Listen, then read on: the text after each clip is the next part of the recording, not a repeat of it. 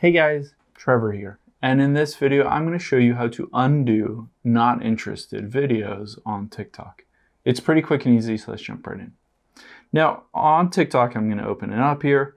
It gives you the ability to tap and hold here and then hit not interested in any given video. And that will tell the TikTok algorithm that you don't want to see that video anymore and you don't want to see videos like that anymore.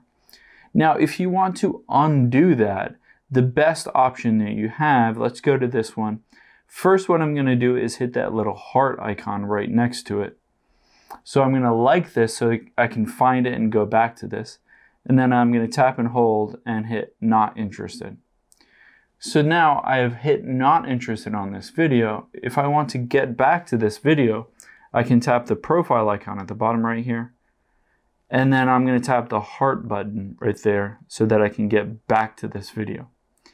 So I, you can see I can tap and hold on here and it doesn't give me the ability to undo that not interested or say that I am interested. However, there are a few things that we can do to tell the algorithm that, wait a minute, I am interested in this video. I accidentally hit the non-interested. So what I can do, of course, is I've hearted it. I can add it to my favorites. I can share it with somebody else or save it um, and do all different kinds of stuff if I want to send it as a text message.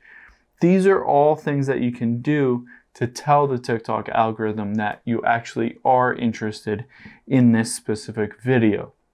However, there's no one specific button that says, I want to undo the not interested. So once you've done that, you can't really undo it anymore, but you can do certain things like you can search for videos like it or that specific video and heart it, add it to your favorites, send it to a friend.